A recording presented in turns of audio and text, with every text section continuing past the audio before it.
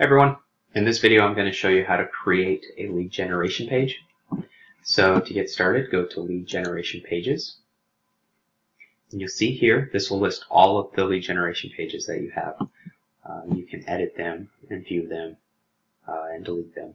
But what I'll do is I'll create a new one. So click create. And then the different options, there's not many.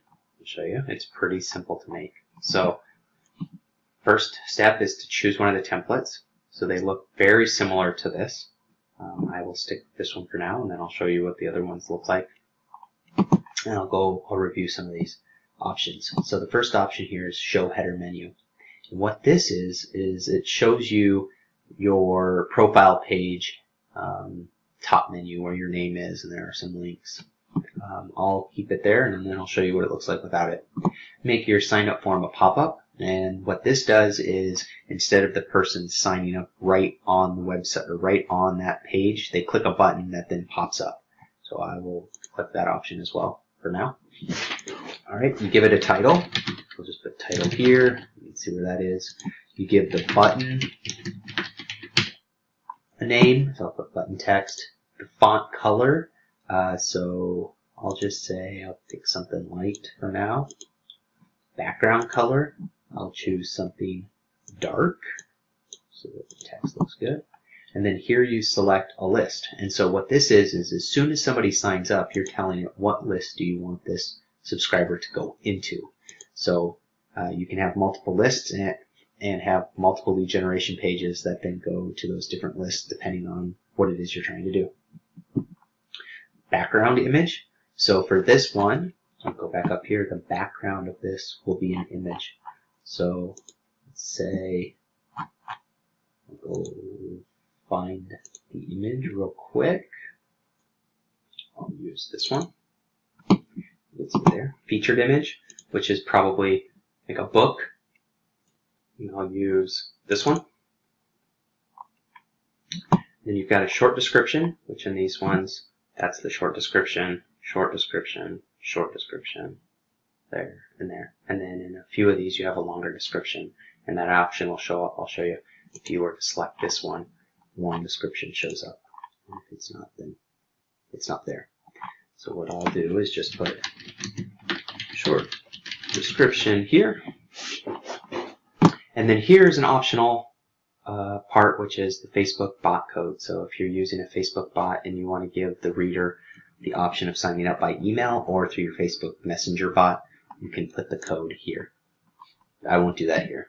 And then you hit save changes, and then real quickly, go back, title here, you can see, put in a new tab, and here's what it looks like. So yours would obviously I have longer description and fill up a little more, but here's how the button works then. You click a button, and the person can sign up right there. And this is the top menu I was talking about as well. Now if you were to say edit and we'll take both those options off. Save the changes. Here's how that changes. So now you've got the sign up form here and your top menu has gone away.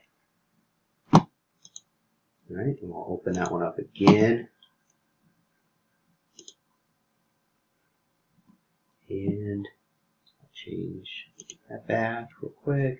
And let's just change it to this one. Save changes. And you can see how that then updates. So go back real quick.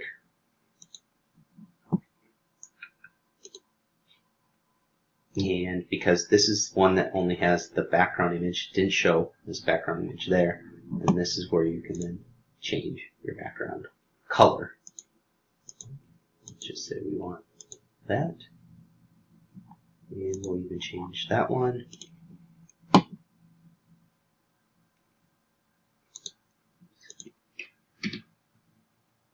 And then you can see how that one looks like.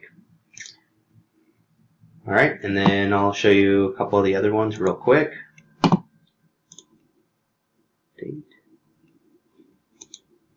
there. And then here's where the long description goes. So it changes. You can see how that how that changes. And then the last one.